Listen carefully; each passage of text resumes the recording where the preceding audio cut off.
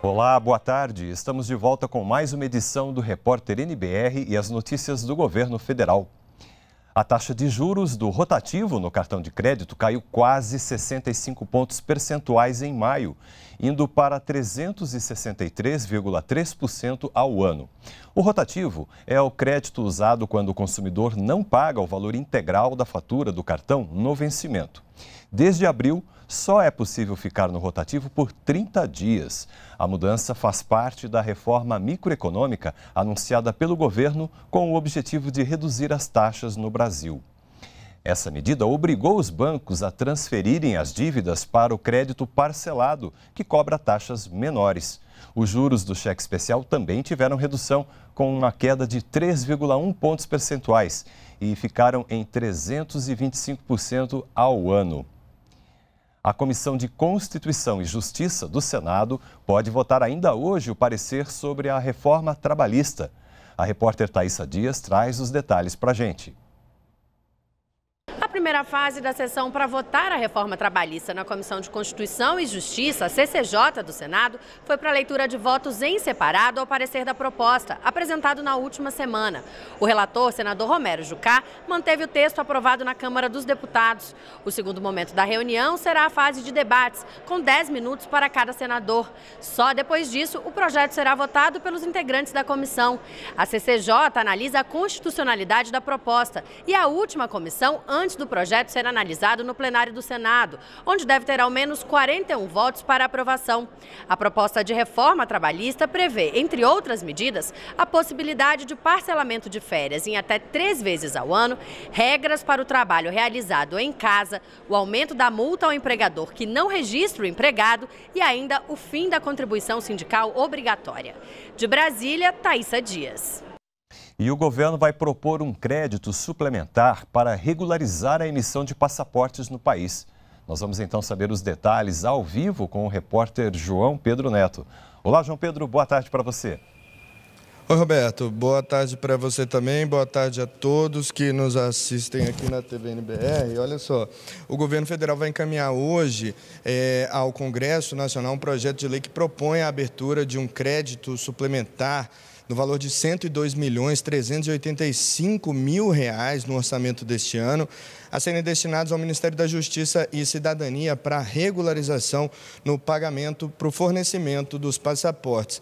A confecção dos passaportes havia sido suspensa pela Polícia Federal para os documentos pedidos a partir das 10 horas da noite de ontem. Olha só, segundo o Ministério do Planejamento, a abertura de crédito suplementar no orçamento ela só pode ser feita por projeto de lei e não por medida provisória. E com a urgência desse tema na avaliação do governo, segundo o Ministério do Planejamento, esse pedido, é, essa proposta, então, a comissão mista do orçamento pode apreciá-la ainda essa semana e aí o Congresso Nacional define esse tema e aprecia essa questão já na semana que vem.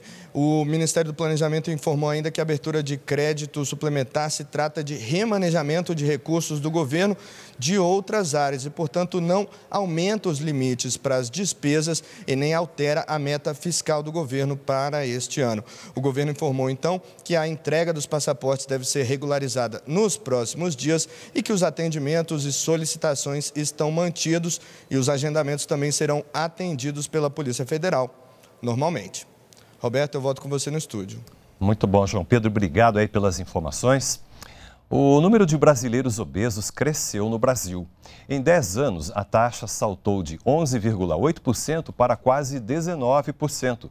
E no combate à obesidade, um passo fundamental é a redução do consumo de açúcar. Esse foi o tema de um debate realizado em São Paulo, que contou com a participação do ministro da Saúde, Ricardo Barros um, dois, três sachês de açúcar para adoçar um cafezinho. Parece exagero, mas para muita gente, assim que é bom. Jonathan é uma dessas pessoas. O auxiliar de iluminação não dispensa a doçura nas bebidas. Tem que tomar um cafezinho mais, mais docinho para adoçar a vida. O que para Jonathan é indispensável para médicos e autoridades de saúde é prejudicial ao organismo. O excesso de açúcar relacionado com baixa atividade física é um fator predisponente que leva à obesidade. A obesidade está relacionada com mais hipertensão, com mais diabetes, com mais morte por doença cardiovascular. De acordo com o Ministério da Saúde, atualmente 16% das calorias consumidas pelos brasileiros diariamente vêm do açúcar muito além do recomendado pela Organização Mundial da Saúde. Aliada à redução do sal e de gorduras trans, a redução do consumo do açúcar pode ajudar a combater o excesso de peso e a obesidade, que geram inúmeros problemas de saúde. Por isso, o ministro da Saúde, Ricardo Barros, defendeu durante um debate sobre o tema em São Paulo a redução e o controle do consumo do produto para no máximo 10% do total de calorias diárias.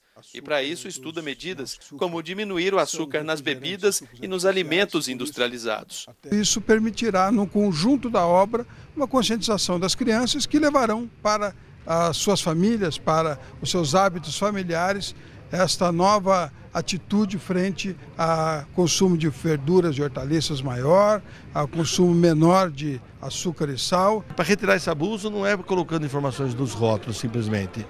É, são vários fatores. A educação é o principal fator, o estímulo da atividade física e entender o que tem no rótulo. Mas não há mágica. Embora reduzir o consumo excessivo de açúcar seja necessário, isso não é suficiente. Para ter uma vida saudável, além de uma dieta equilibrada, foi consenso entre os participantes do painel que é necessário manter uma rotina de exercícios físicos.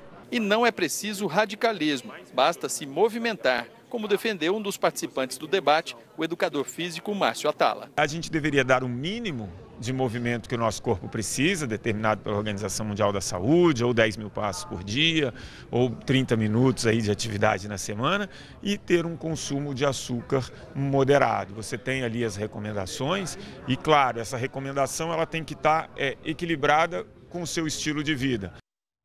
Nós ficamos por aqui e voltaremos a qualquer momento com outras informações ou em uma hora na próxima edição do Repórter NBR. Você pode rever as reportagens no YouTube e toda a programação também está disponível em nossa página na internet. Uma boa tarde para você. Continue com a gente aqui na NBR, a TV do Governo Federal.